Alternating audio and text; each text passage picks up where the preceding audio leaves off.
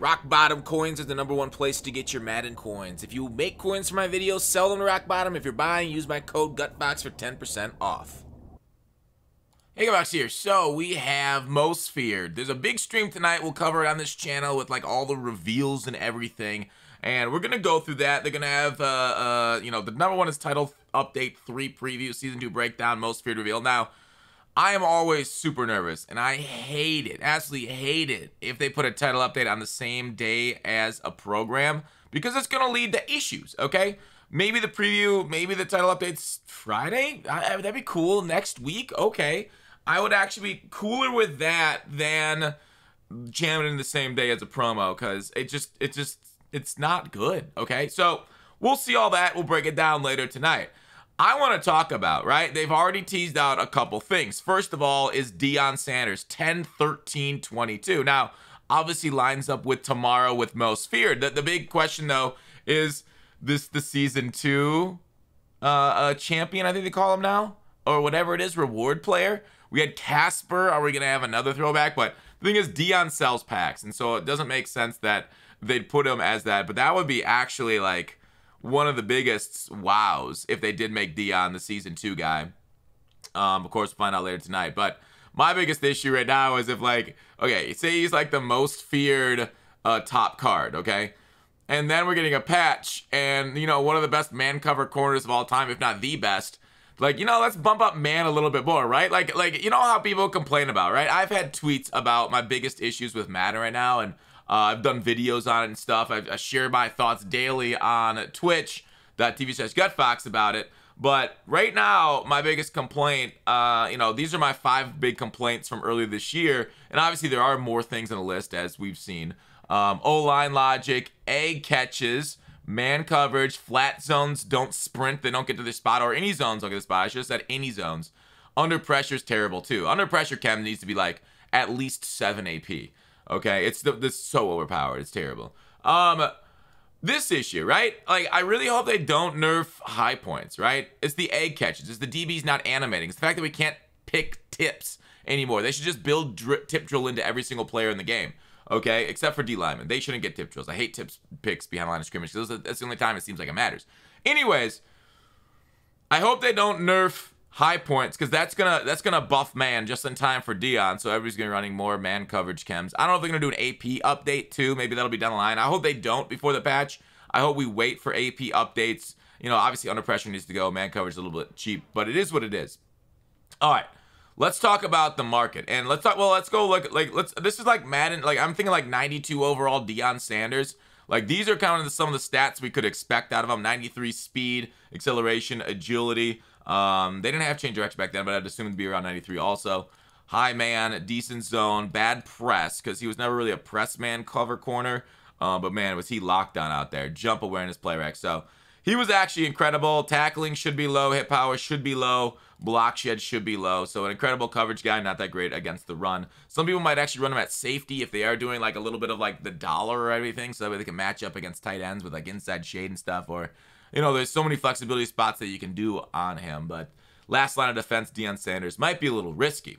But has the market already crashed? I, I think that's going to be the title of this video. And it's a good question, right? Now, I said on Market Monday that, you know, cards are going to go down. And it does look like since that, even on that day, cards were already headed that way. Now, I, I might not, you know, maybe I don't want to go through this filter, but let's go ahead and look through some cards because like the trading market is still the same.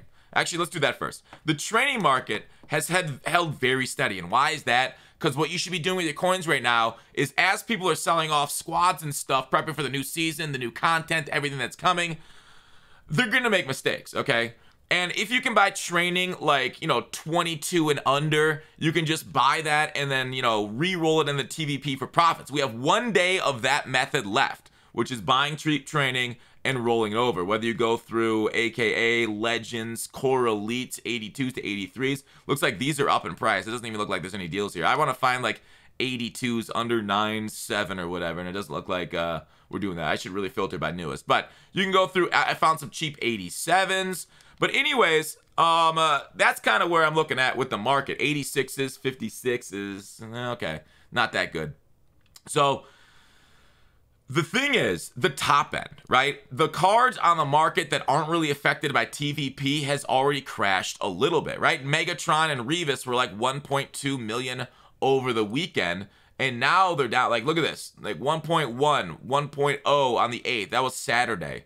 Now it's down to 831. So it looks like people have already sold off quite a bit. Now, do AKA players, are they affected by a lower training? You're asking yourself. The answer is kinda, right?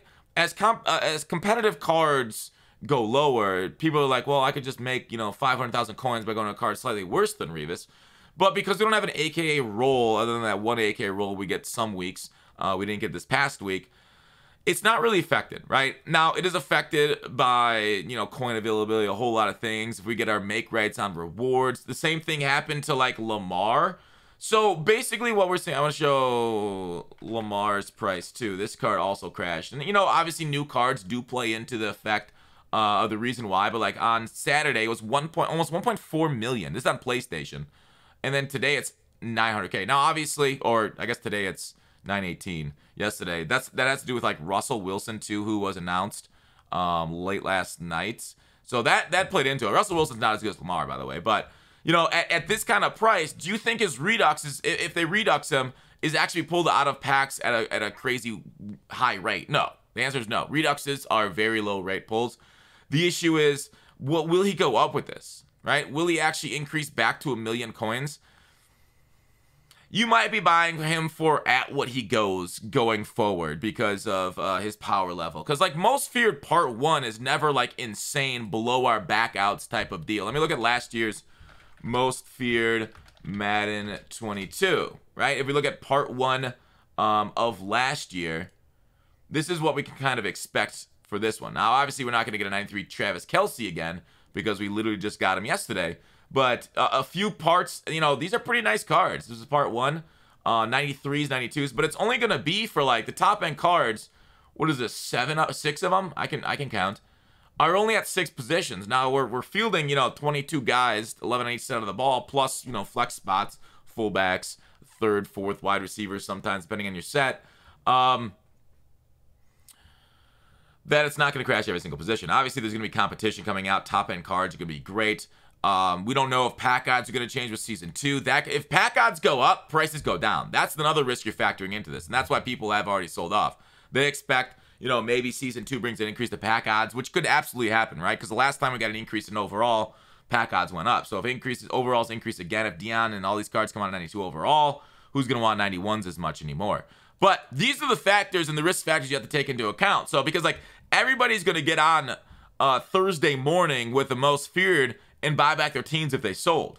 So like there's going to be a lot of rush for demand on most feared morning.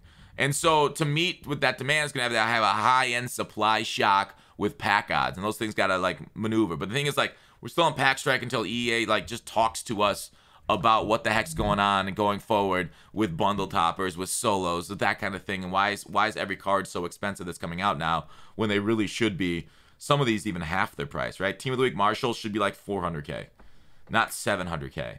And so that's the issue. That's the issue. I don't know. I, I we'll, we'll, see what happens going forward. That's what I kind of want to talk about. Is like, don't wait. Maybe if, if you find a card that is a really good price, you can find some really nice snipes on some top end top end cards here because people will sell off at a really stupid rate.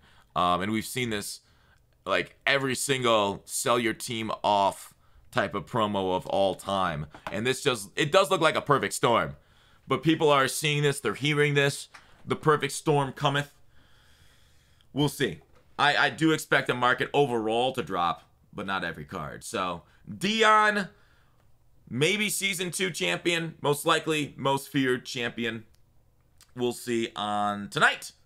I'll have a video for it. Hope you guys enjoyed the video. Please subscribe. Become a member if you want to see the best ebooks in Madden 23. How to destroy the Madden and everything. I think we'll come out with a defensive one here soon. I'll update to a defensive one here soon after the patch, obviously. All right, that's it.